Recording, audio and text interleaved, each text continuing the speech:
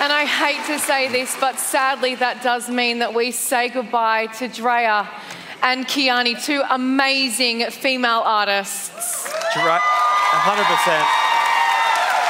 Kiani, let's start with you. Is there anything you'd like to say to Australia, to our judges?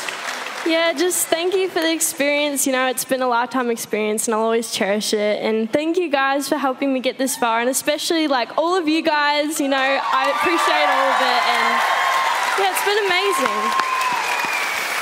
Oh my goodness, Drea, how are you feeling? What's running through your mind right now? Do you want my honest answer? Sure. I can't say I'm surprised I'm here.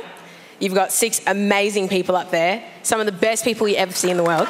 So yeah, you got to keep supporting them.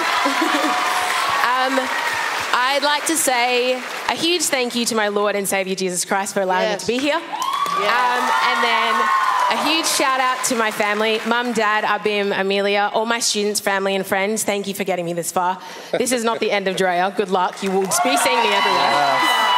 I love that. Excellent. Well, judges, any parting words to Drea and Kiani? Look, um, I'll see both of you girls on the radio in the morning. Like, don't think it's over yet. The, the life continues. We want to keep hearing the music. Just keep putting the pedal to the metal. That's how this works for you. Absolutely. See you in the morning, early, real early. All right, ladies, I hate doing this. I hate this part. We have loved having you on Idol so much. You're both wonderful singers and so talented. Australia, go and hit them up on the socials, get behind them, follow them, support them, and give it up one more time for Drea and Kiani.